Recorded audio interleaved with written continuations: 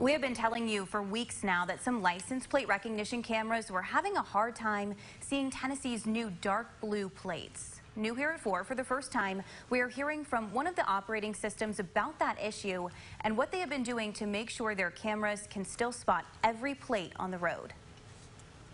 By now, you've likely seen cars sporting this new license plate design dark blue with white letters. You also probably know, as we have reported, it was causing trouble for some license plate recognition cameras. What's unique about these Tennessee ones is their reflect reflexivity is uh, not quite as high.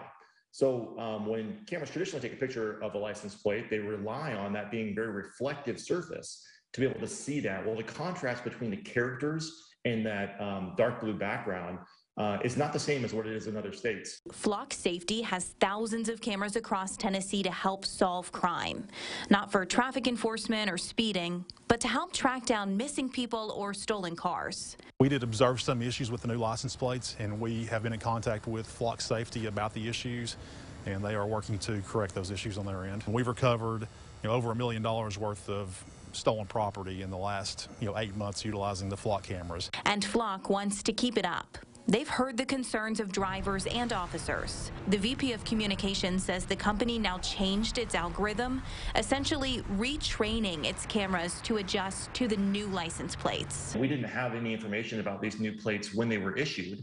Uh, so it took uh, a couple weeks for us to train our machines to correctly identify and read what those plates actually say.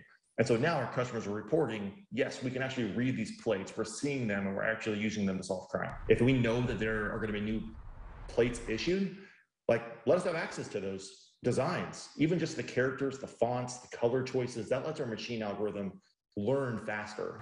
Um, and so that's what we're hoping for in the future.